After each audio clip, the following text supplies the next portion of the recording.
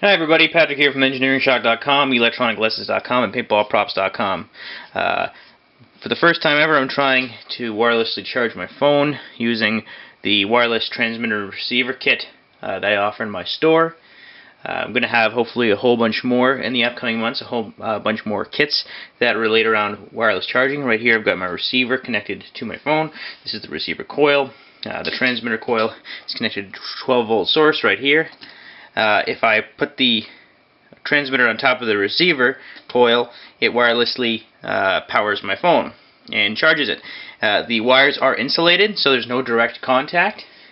And uh, but what I'm going to do is, if I rest the transmitter coil directly on the receiver coil, is it uh, it it powers the phone and charges the battery a lot faster.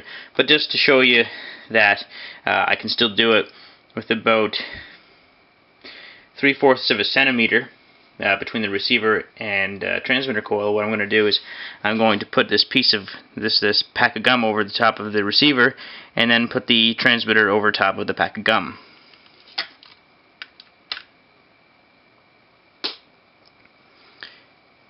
And the phone is telling me that it's 67% and that you see the little charge indicator right there.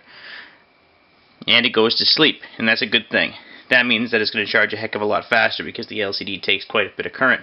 So right now, uh, I'm pulling across only about 200 milliamps. If I had the transmitter and receiver a lot closer, it would pull a lot more than that, and it would charge a lot faster.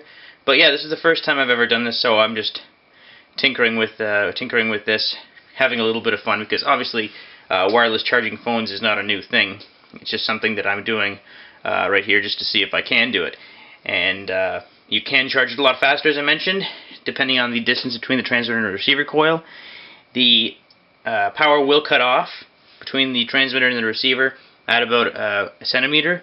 Uh, it won't it won't cut off at a centimeter, but I won't have enough uh, enough current to transfer between the transmitter and the receiver coil, and so the phone will wake up and say, "Oh, I'm not charging anymore." Anyhow, just wanted to show that off. I've got 12 volts on the transmitter, receivers connected directly to a micro USB connector that is powering my phone right now. So thanks for watching. I hope you uh, enjoy the video.